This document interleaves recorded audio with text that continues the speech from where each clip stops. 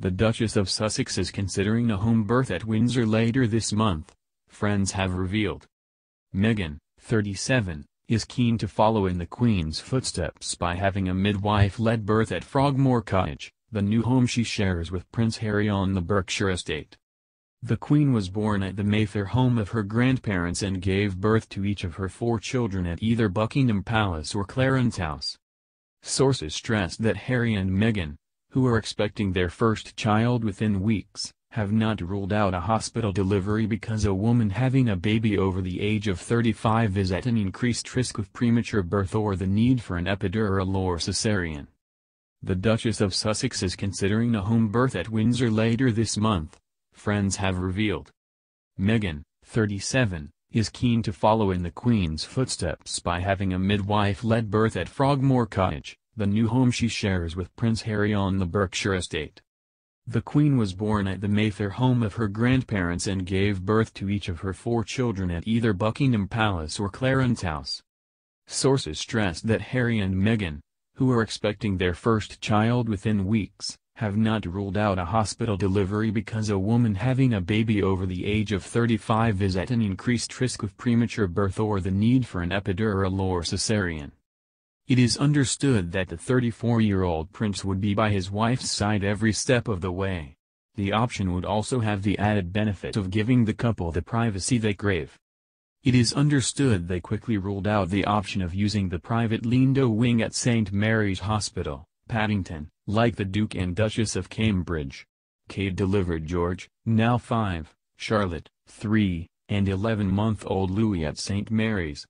However it is thought Harry and Meghan decided against it because it felt too much like a goldfish bowl.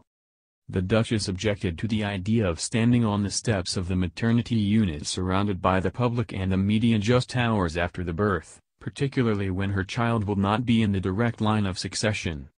Last week it emerged the couple had also made clear that they want minimal involvement from the Queen's household doctors, surgeon-gynecologists Alan Farthing and Guy Thorpe Beeston widely considered to be among the best in the business.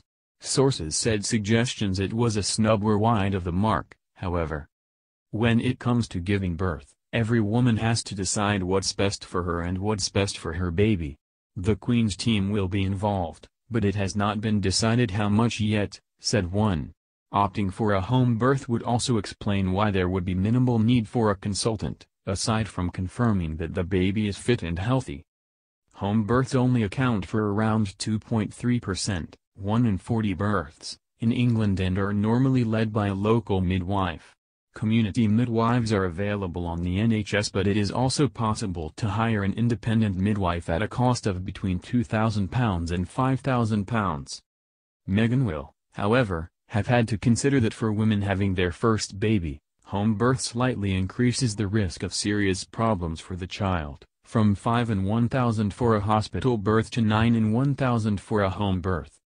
That said, the royal family has a long history of women giving birth successfully at home. The Queen Mother gave birth to the Queen on April 21, 1926 at the London home of her grandparents, the Earl and Countess of Strathmore. The Queen herself gave birth to Charles, Anne, Andrew and Edward at either Buckingham Palace or Clarence House. Harry and Meghan, who completed their move to Frogmore last week, see the cottage as their forever home. They believe it will enable them to bring up their family outside the scrutiny of palace life. A Kensington Palace spokesman declined to comment.